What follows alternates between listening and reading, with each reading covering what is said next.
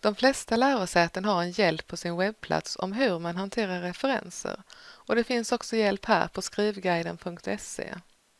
Det finns ju en mängd olika stilar för referenser och vilket referenssystem du väljer som student det beror på vilket ämnesområde du skriver ditt arbete inom. Troligen får du anvisningar om det i kursen men rådgör annars med din lärare eller handledare. Och i en del kurser kan det till och med vara så att det är fritt att välja det man känner sig bekväm med. Men det är alltid så att det är krav på att det du har valt, det ska du hålla dig konsekvent till genom hela arbetet.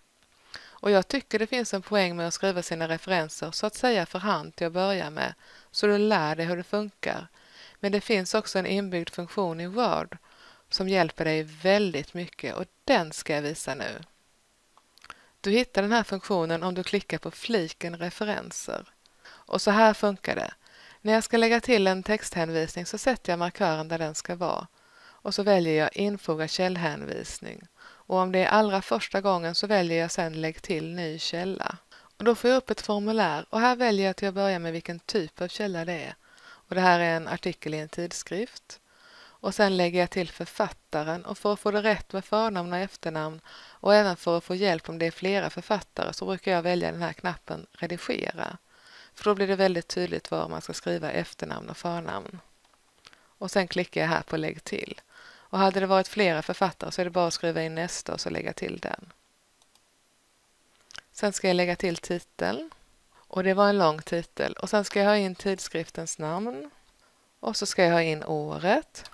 Dag behöver jag inte ha på en tidskrift, men jag ska ha in på vilka sidor i tidskriften den här artikeln står. Och sen bakar jag i här för att visa alla litteraturförteckningsfält, för det är lite grejer till jag vill lägga in. Och så vill jag lägga in här att det är volym nummer 31 och det är nummer 2. Och eftersom jag har DOI-numret så tar jag och lägger in det också.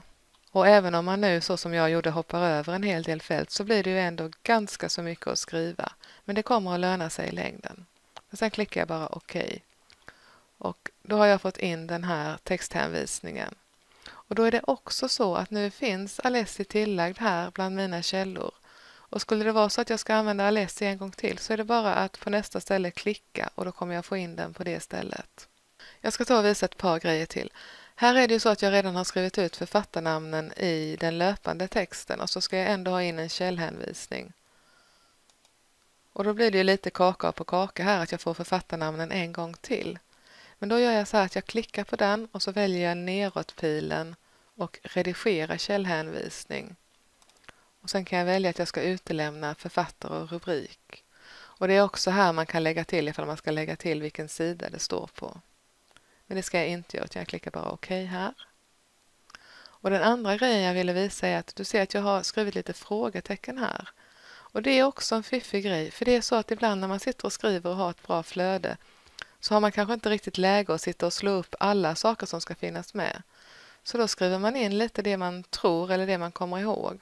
Och när jag senare har tid att leta efter exakt hur det ska vara så kan jag sedan gå in på hantera källor och så väljer jag denna källan och så väljer jag att redigera den och nu vet jag att det ska vara 2000 här så då ändrar jag det och klickar OK och stäng här.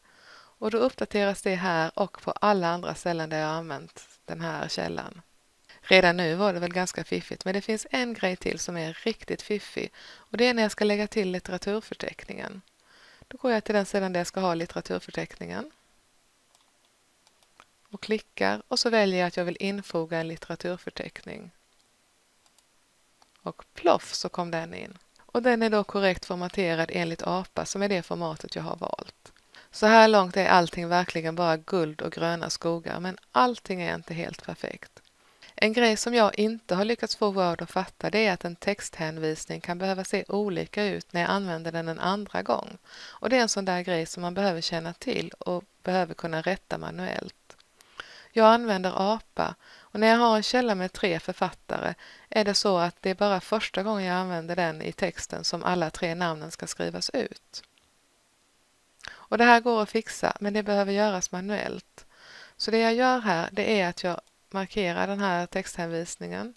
Jag klickar på neråtpilen och så väljer jag konvertera till statisk text. Då blir den en del av texten och då kan jag enkelt bara ändra i den. och skriva så som det ska vara enligt APA.